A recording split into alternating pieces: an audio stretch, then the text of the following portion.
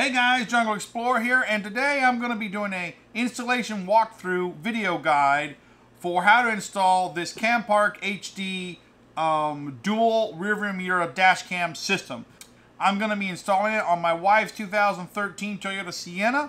Um, we had one installed on our old van, but uh, Two Deer decided to kamikaze on the hood of it, and so that one died, and now we have a 2013, um, which is a nice vehicle, but it doesn't have dash cam systems. And boy, I tell you what, nowadays with the way people are driving, you'd better have a dash cam. Well, I, what I love about these uh, systems right here is they're a rear view mirror. Let me go ahead and take it out of the box. Now, I already took it out of the box and was going to install it on a different vehicle, uh, but I decided against that one, and uh, so I just already have it kind of unwound here.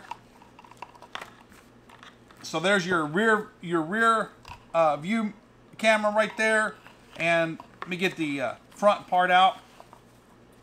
Okay, so here's the mirror. And it just clips onto your existing mirror. It has these little straps that holds it on.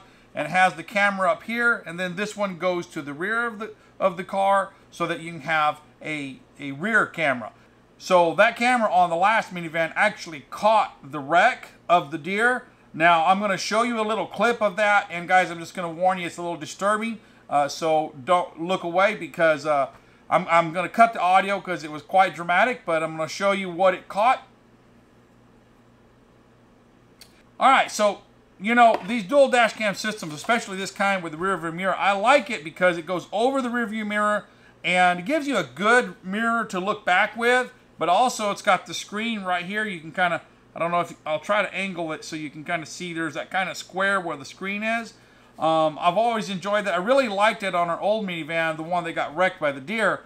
Uh, not too long ago, before we wrecked it, I was driving down the road and at a, at a red light, and you know I caught a, a bad wreck on on camera. Not not a life-threatening wreck, but a, a, wreck, and there was a dispute there. Um, because I was a witness, I stood by, and when the cops came by and asked me, I showed them the footage and was able to resolve that issue by showing them the footage using this uh, as a screen. So, anyways you know, the rear camera can catch people doing things behind you. If I, I don't know if it's ever happened to you, but in my life, I've had it happen more than once. Somebody rear ends me and then claims it's my fault. Well, not with a rear end camera because it's going to show the exact time and date and what they did. So it's really good to have these things. Now, um, the installation is going to be go pretty simple. I'm just going to walk you through it and then um, show you how it works. All right. So the first thing we need to do is install the mirror right here. And it's going to cover up your existing mirror. So if you have some special functions on your existing mirror, like this one has garage door opener and stuff like that, um, then you're probably going to need a different kind of a dash cam system. I don't use any of these functions, so I don't care about those buttons being covered up. So I'm going to go ahead and put this on. So it goes right over your existing mirror and it uses these little straps like this that you, you hook right in here, like so. Okay? And then you're going to stretch them over. Now, this has a pretty thick mirror on it, so it really takes some, uh, some stretching to get these things around. I like to reach around back, stretch this out. This one's the most difficult one. It's pretty thick right in here. It up and in like that. All right, so now that's that's firmly attached there. Okay, so now we're going to connect the power to it. Let's see where it connects up here. Connects right here.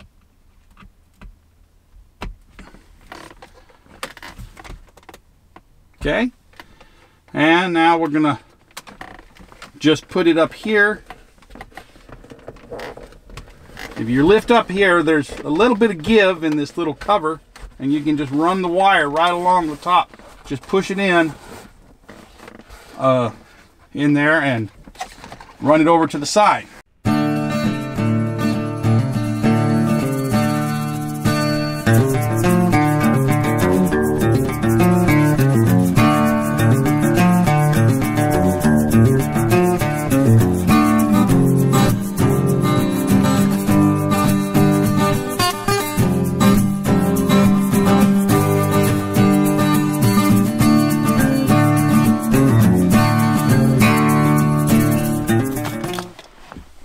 Can see I ran it all the way around, up and underneath here, and brought it in. I kind of tied up the extra wire back in there so I didn't have any loose hanging around. So that's how I've powered the camera there. Now, I'll probably go in here with some tape and secure it up underneath the dash so it won't fall out and get in my feet. But uh, that's how you route that wire right there. Now on the Sienna, or on any minivan, there is a real big question of where to put the camera on the car. Um, so if you put it underneath the bumper, you run the risk of it getting knocked off. You put it on the back of the bumper or on top of the little footrest there, you know, it could get hit and stepped on when people are accessing the back. Um, the car has a built-in backup camera on it, but it's a really small one and a little screen up top. It's over on the, you can see it over on the left-hand side of the, the underneath the latch area there. There's one right there. So that's the most convenient and best place to put one, but that raises another problem, which is how do you route the wire? But the way I ran it on my last Sienna seemed to work okay. I'm going to run it the same way on this one, so I'm going to show you how I did that. Okay, so we want to put the camera up in here. There's already this tail light right here. We want to put it over here, mount it up to this. But we got to get the wire in through this area right here. And so this is going to take a little doing, and I'm going to show you how to do that. Okay, so we're going to need to get this back panel off here. So you'll see there's a little place right here where you're intended to put a tool in, but you don't really need that tool. Just put your fingers in there and kind of gently pull straight down. It'll pop out, and then you see the clip right there.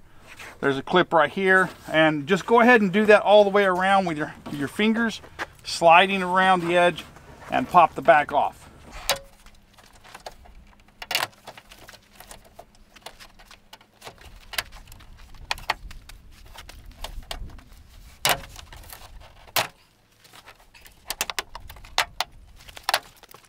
Okay, so there's no hole on the inside for us to go through, especially not something the camera will go through. But we actually don't need the camera to go through. We just need something, a hole big enough for this to go through. And then we'll feed this wire all through from the inside. So by taking this little license plate light out right here, popping it out, we're gonna provide ourselves enough space in here to get this wire through from the back side and we'll feed it in from the back side. The problem is, is there's no extra room for around this fitting right here for this wire. So once we get this wire through, the fitting's not gonna come back in. So we're gonna have to drill a little hole next to it so that this wire can have a space for to be when we put the, the uh, license plate light back in its socket. So I'm just gonna drill a little hole in there.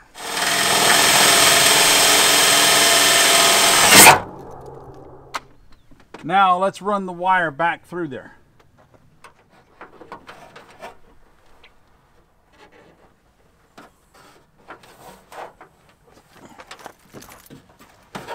All right, now we're just going to pull the wire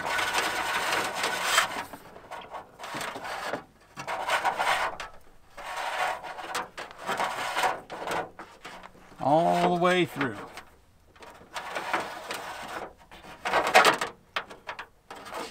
This red wire going to run over here to the reverse light. Okay, so let's push this wire over to the side and put our license plates light back into its socket. Okay, so this red wire we need to run over here to our reverse light. So turn your ignition key to the on position, see which bulb is your reverse light. It'll be your white uh, lens on the back of your car. And uh, just to make sure we'll pull that's the, reverse light right there. So this needs to be connected into the power wire on the reverse light. Now we can see the light is on here and but this thing has three wires to it. Now most probably the red wire is the hot wire but to test that out I'm going to use a DC tester light which is simply just a device. You connect this to a ground like this little metal bolt right here now, it won't connect to the painted body because that won't provide a good ground. You want you want bare metal like that bolt. And then I'm just going to run it up in here And you see that light, I ran it right up in this wire socket and it gave me a light. So that tells me that is definitely the hot wire. Okay, so I'm gonna use a T connector to connect to this red red wire right here. It's a pretty tight space, but uh, just kind of slide this insulation back up on it just a little bit. So with this T connector, there's no need for cutting the wire.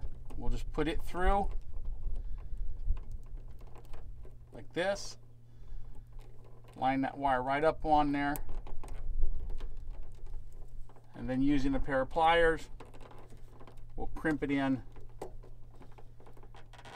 on there, like that. Okay, now that's made a, a connection. All right, now I'm gonna use one of these red connectors here. You can see the hole in there. I'm Gonna push that up inside there, okay? Using the, the red dot here is the right crimp connector for this. We're gonna go ahead and make sure that's all the way up in there. You wanna crimp that real good. Okay, connect your blade connector to the end of the wire and then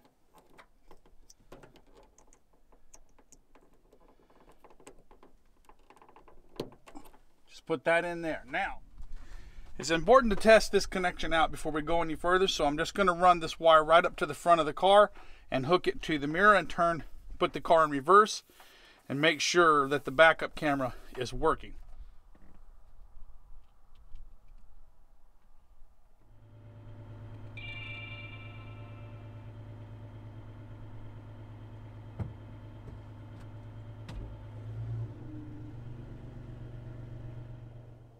Okay, so I went up front, plugged it in, and put the car in reverse, and I saw that it switched to the, re the reverse camera, so this connection up here is fine. So now we can go ahead and tie everything, put everything up, and, and route the wires to the front, you know, through the side. So I'll show you how to do that. Okay, this wire right here, we're just gonna run inside this right here.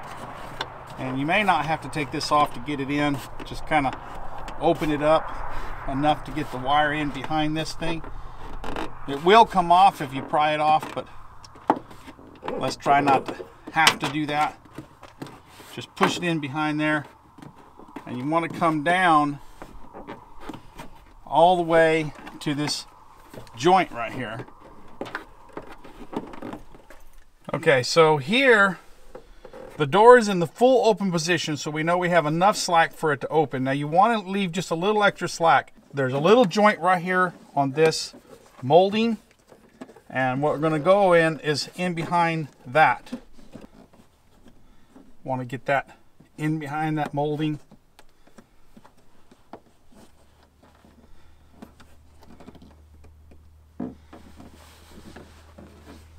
And then tuck it up in there. May have to use a screwdriver or something. Push it back up in there.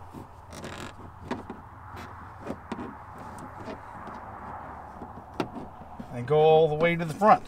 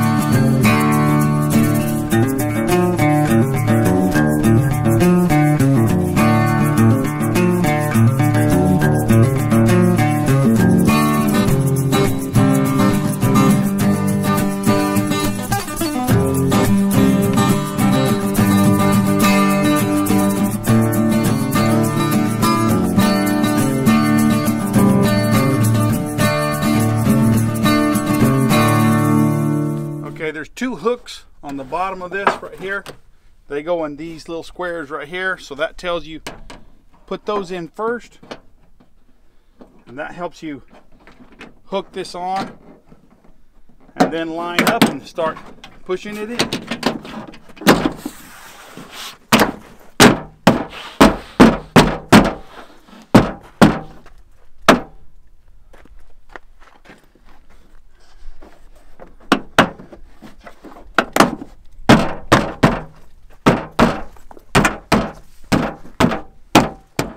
Okay, so we're going to put this up underneath here.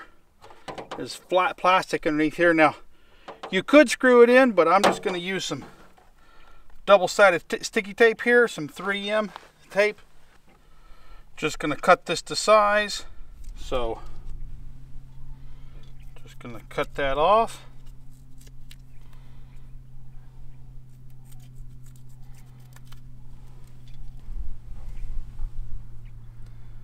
Stick this on here.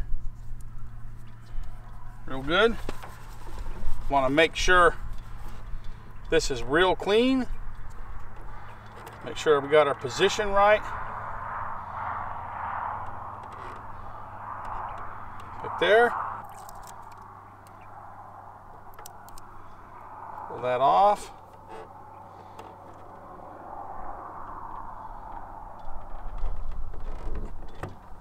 Stick that up on there real good. Now we want to set our, our angle here and tighten this up.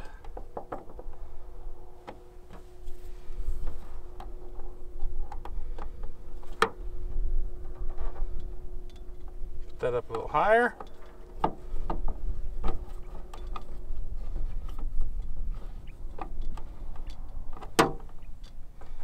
Pretty solid. All right, let's give it a try.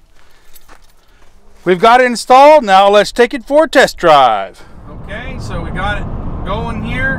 Um, that's the forward camera. That's the little one's the rear camera.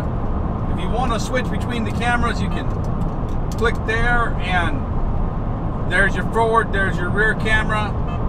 That's forward camera. That's rear camera. And then go back to there. Just give you some footage as we go down the road here. Um, see how, how good it is for you. Okay, so let me throw the rear view footage up for you.